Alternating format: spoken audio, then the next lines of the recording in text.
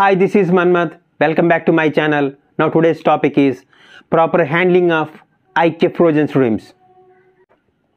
Even when shrimps are freshly harvested and caught, brought back to the manufacturing facility and frozen in a good conditioned freezers, their quality can be still be degraded by poor handling. Yes, from raw material to freezing, we have maintained good cold chain. But after freezing, it is very important. After freezing, handling of shrimps will plays the crucial role. One of the most consistently overlooked faulty practices is after freezing the shrimps packed in a packaging material, primary, secondary, and not moving to the cold storage. In the packing store only, the pallet until assembling of the full pallet or after assembling the pallet also, it remains maybe half an hour or one hour in the packaging area or in the anteroom, which degrade the quality of the shrimps. As per the study says, after packing the shrimps, IQF frozen shrimps in the packaging material and the room temperature, if room temperature is plus 10 and the pallet remains one hour in the packaging store area or anteroom plus 10 degree centigrade, outer layer of the master carton will start melt. Room, whereas at a room temperature of plus 20 degree centigrade, in the packaging middle room section if you keep the uh, frozen products for more than half an hour.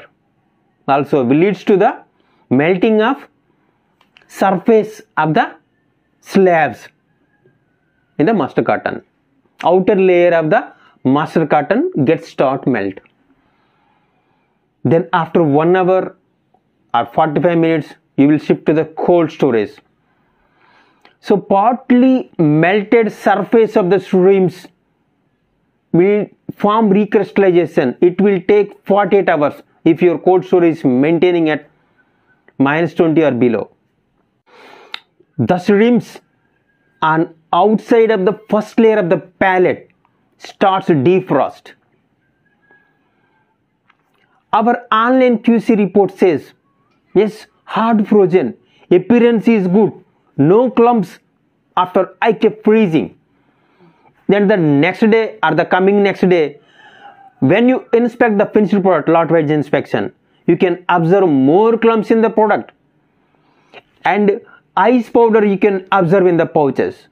How this will happen? Yesterday or day before yesterday, as per the online QC report says, good quality, good frozen shrimps, good appearance. But within one two days, the shrimp's color also changes. So how to prevent freezer burn or dehydration after IQF frozen and hardening with adequate glaze either cooked IQF frozen or raw IQF frozen shrimps.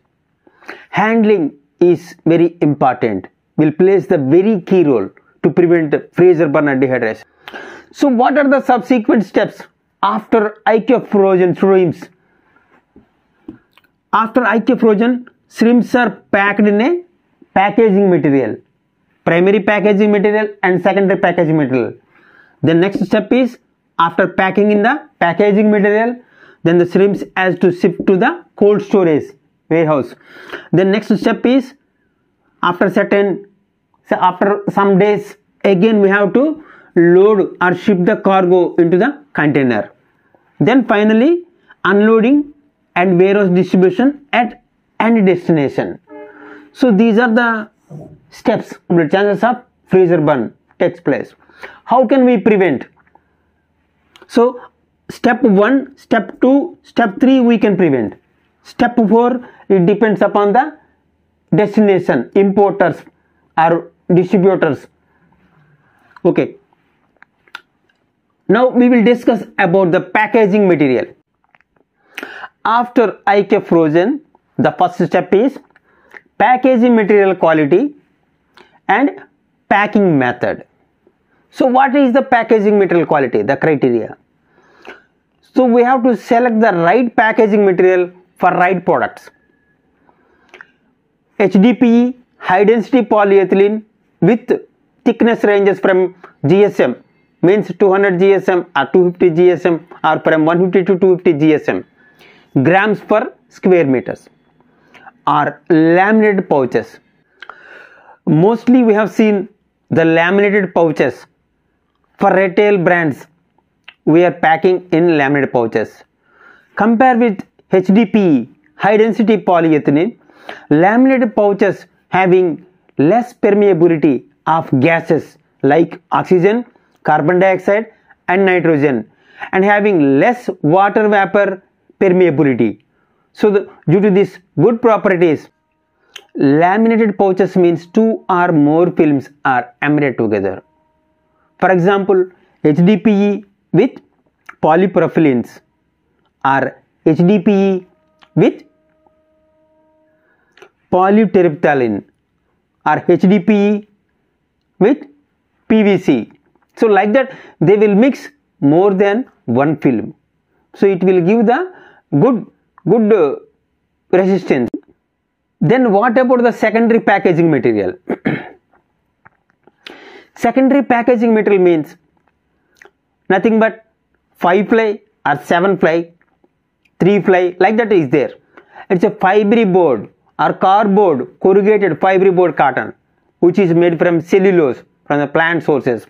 Various pouches primary packaging material manufacturing from the petroleum byproducts. After distillation of petrol this is the byproduct polymers. So from there they are manufacturing the polymers.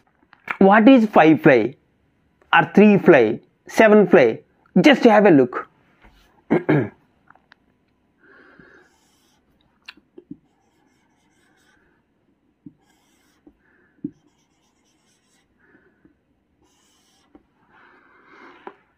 so this is the example of 5 ply cotton so this is the liner.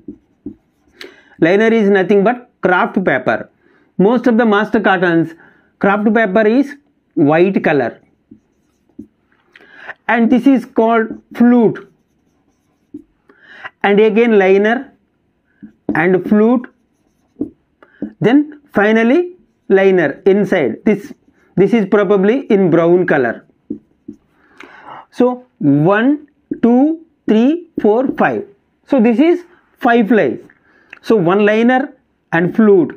So in between they have to apply gum. So most of the packaging metal industries.